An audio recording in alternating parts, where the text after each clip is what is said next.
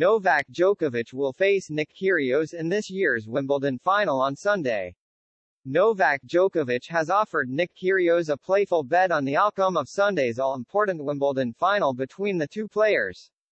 The Serb defeated Cameron Norrie in Friday's semifinal to book a high-profile meeting with Kyrgios on centre court, while the Australian hopeful was handed a bye following Rafael Nadal's withdrawal from the tournament with an abdominal injury. It remains to be seen which player will come out on top with the stakes at their highest on Sunday, although Djokovic appears to be the overwhelming favourite to beat Kyrgios to the most prestigious Grand Slam trophy of them all.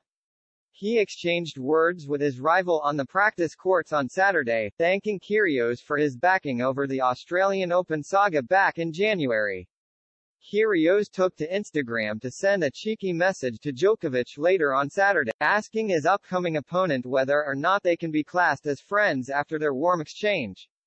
Djokovic went on to respond by offering Kyrgios an informal bet that could spice up their Wimbledon final, which will mark only the third professional meeting between the two players. If you are inviting me to a drink or dinner, I accept, replied Djokovic on his Instagram story, followed by a laughing emoji, before adding, P.S. winner of tomorrow pays. Kyrgios appeared to be up for the challenge, with the 27-year-old wasting no time in accepting Djokovic's offer by posting, deal, let's go to a nightclub and go nuts.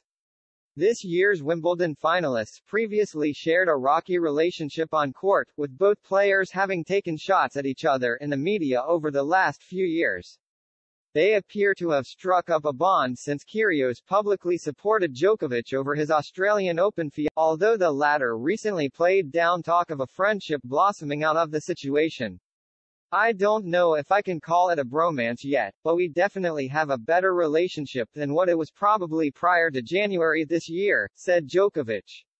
But when it was really tough for me in Australia, he was one of the very few players that came out publicly and supported me and stood by me. That's something I truly appreciate, so I respect him for that a lot.